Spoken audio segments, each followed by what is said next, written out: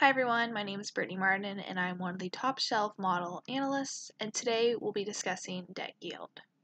I'll be using the hotel acquisition model template in order to demonstrate how this formula works. So let's get started. The debt yield is the metric used by lenders to determine the risk of a loan and how much they'd be able to recover if the loan defaults, and this number is expressed as a percentage.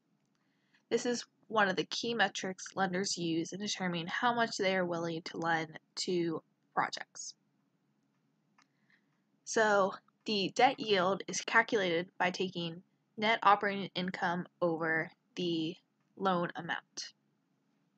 So, I am on the Model Outputs tab in our hotel acquisition template, and all of our top shelf templates have this calculation already there for us, so we're super lucky, but let's look at how this calculation is working in this model.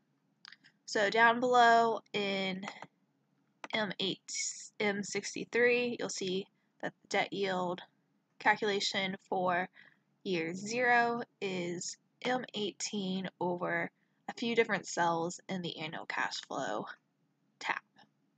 So M18 is referencing the EBITDA.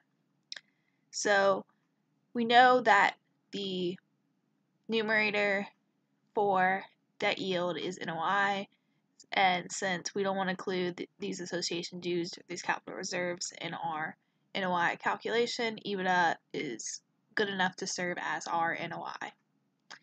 So we'll see that in year zero and year one we have no NOI, and then it seems like we have some NOI coming in year two, year three, year four, and year five. And that looks like when we sell. So it looks like we're probably in renovations during these years since there's no cash flows happening up here, but we have some interior renovations and exterior renovations happening. And we purchased it in year zero. So now let's look at the denominator. So we know that the debt yield formula again is NOI divided by the loan amount.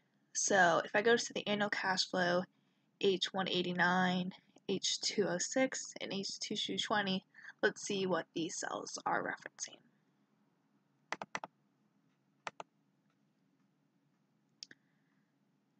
So here we are in H189. H206, and H2220.